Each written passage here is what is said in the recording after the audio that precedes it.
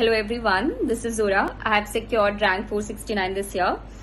This was my last attempt and before this I was never able to qualify prelims. But thank God I've crossed paths with Vikas sir and Bright sir. They steered my preparation in the right direction, gave me the right guidance in all the three stages, be it prelims, mains and interview. Uh, I was enrolled to their prelims as well as mains mentorship and test series. It helped me immensely in the actual examination. Uh, thank you again, uh, Vikas sir and Bright sir, for uh, helping me realize this tangible result. Um, and uh, I'm forever indebted.